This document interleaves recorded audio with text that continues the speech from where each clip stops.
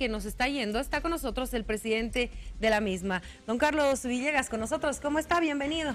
Gracias, muy amable. Gracias por la invitación. Un gran saludo a su programa y a los televidentes. Yo le reclamaba y le decía, ¿por qué no nos visita mucho? Usted viaja bastante. Sí, mire, lamentablemente no estoy con mucha frecuencia en los medios porque el trabajo que tengo en IEPCB eh, me induce a visitar muchísimo todas las actividades que realizamos, campos, plantas, entonces estoy en permanente actividad, viajando por todo el país y eso me limita un poco el estar en los medios. Disculpas, pero ahora sí estamos en Canadá. No, nosotros, nosotros encantados de tenerlo acá, presidente, porque es importante conocer de voz propia de lo que pasa dentro de la empresa, porque conocemos artículos, es más, artículos internacionales en revistas prestigiosas que le dan una posición importante a IEPFB respecto al trabajo que está haciendo.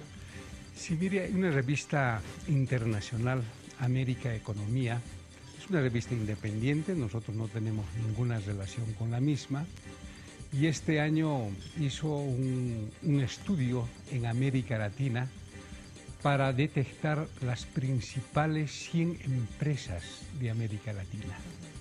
Y en las 100 empresas, IEPCB está en el puesto 88 por las ventas que realizamos y en el puesto 18 por las utilidades obtenidas. Entonces, podemos señalar que hoy en día YPGB se está codeando con las principales empresas de América Latina y eso, bueno, es reflejo de la decisión que se tomó a nivel gubernamental eh, de la nacionalización de los hidrocarburos que prácticamente encumbrió, dio un impulso importante a YPGB y ahora ya estamos cosechando lo que hemos trabajado en el transcurso de estos últimos años.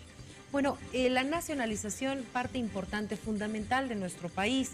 La etapa de la industrialización es la que nos llama la atención porque se está avanzando de a poquito, pero se está avanzando. Sí, mire, industrialización fue otra de las promesas importantes que realizó el presidente Evo el 2005. Comprometerse con el país hacer una realidad la industrialización. Y la estrategia que hemos implementado es la siguiente está en proceso de construcción una planta que podemos señalar que es stricto sensu de industrialización, que es la planta de fertilizantes.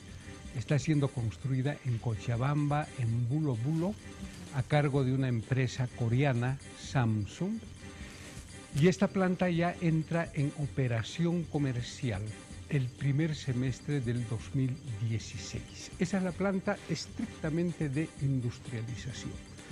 La segunda fase, en la estrategia que le estoy comentando, se decidió construir dos plantas de separación de líquidos. Una de ellas en Río Grande, en Santa Cruz, y otra en el departamento de Tarija, la planta de Gran Chaco, en Yacuiba. La de Santa Cruz ya funciona hace un año la de Gran Chaco vamos a inaugurar el inicio de operaciones justamente este próximo viernes. El viernes 10 va a estar presente el presidente Evo, vamos a inaugurar. Y estas dos plantas van a permitir obtener materia prima para el complejo petroquímico. Por una parte vamos a obtener propano, para la planta de propileno polipropileno, que no es nada más que plásticos duros. Si usted ve alrededor del set, el 95% de los productos que tiene son productos de plásticos, de, de, plásticos. ¿Y esta planta dónde va a estar? Esa planta va a estar en Tarija. En Tarija. En Tarija, en el departamento de Tarija. Aquí importante que lo resalte, presidente, porque hoy el titular del nuevo sur de Tarija dice que esta planta va a estar en Santa Cruz. Eso no. es cierto. No, la planta de propileno, polipropileno va a estar en Tarija. Ah, la planta de etileno polietileno, que también va a utilizar la materia prima de la planta de separación de Gran Chaco, el etano, que va a producir plásticos blandos, esa planta sí se va a instalar y construir en el departamento de Santa Cruz. Entonces son dos plantas importantes que van a conformar un complejo petroquímico, uno en el departamento de Tarija y el otro en el departamento de Santa Cruz. Estos complejos petroquímicos prácticamente van a permitir ingresar a la era de los plásticos, pero fundamentalmente nos vamos a articular con la industria manufacturera, porque todos los procesos de industrialización que estamos implementando tiene primera prioridad el mercado interno. Con estas plantas, con la industria manufacturera y con el sector privado fundamentalmente, vamos a trabajar intensamente para que el sector privado y en parte IEPGB pueda producir un conjunto de productos, por ejemplo, partes de los televisores, de las cámaras de televisión, todos los vehículos que usted puede, cuando, cuando utiliza los vehículos, por favor le pido, revisar todas las partes son de polipropileno, de plásticos duros. Entonces es importante que los empresarios privados y EPGB nos comprometamos con la producción de partes, porque de esa manera vamos a mejorar la densidad de la industria manufacturera, vamos a generar empleo, ingresos, de tal manera que estas plantas van a dar otro salto cualitativo en la industria manufacturera, así como va a ocurrir con la planta de fertilizantes. Antes de pasar a ese tema, eh, ¿va a poder competir, qué sé yo, con grandes empresas que tenemos que llegue ese tipo de material, por ejemplo, las chinas? ¿Cómo vamos a hacer esto para poder competir con el tema de precios? Porque me imagino que no va a ser lo mismo. No, eh, estamos trabajando, mire, intensamente, hemos realizado varios estudios justamente, como lo que usted señala, es un punto clave, tener un nivel de competitividad. Los productos que acabo de señalarles básicamente eh, están demandados por los países limítrofes de Bolivia.